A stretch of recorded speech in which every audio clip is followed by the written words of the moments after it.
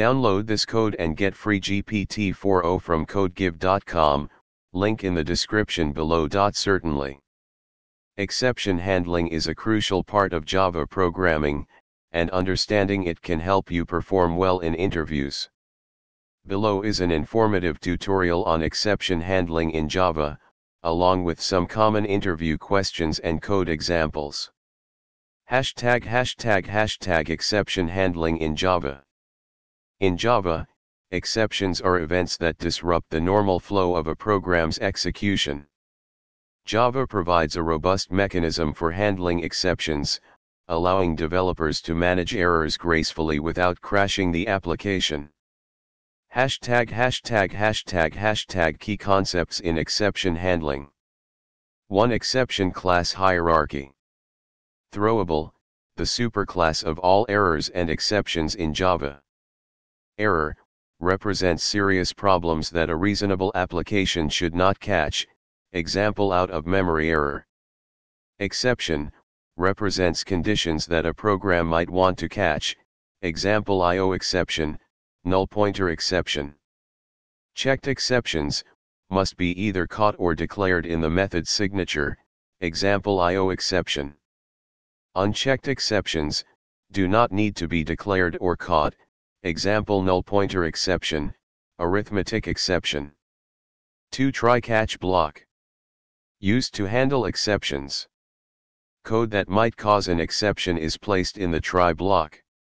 If an exception occurs, it is caught in the catch block. 3 finally block. A block that always executes after the try and catch blocks, regardless of whether an exception occurred. It's often used for cleanup activities. 4. Throw and throws. Throw, used to explicitly throw an exception. Throws, used in method signatures to declare that a method can throw exceptions. Hashtag hashtag hashtag example of exception handling. Here's a simple example demonstrating exception handling in Java.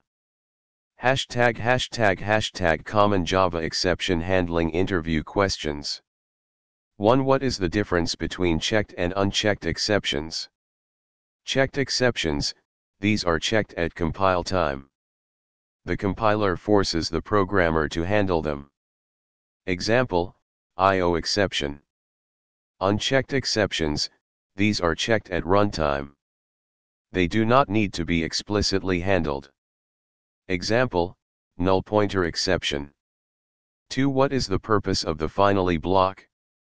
The finally block is used to execute code after the try and catch blocks.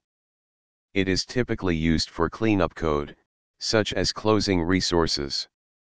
3. What will happen if an exception is not caught? If an exception is not caught, it propagates up the call stack. If it remains uncaught, it eventually leads to program termination and prints a stack trace. 4. Can you throw exceptions in Java? Yes, you can throw exceptions using the throw keyword. For example, 5. How can you create a custom exception in Java? You can create a custom exception by extending the exception class or any of its subclasses. Hashtag hashtag hashtag conclusion.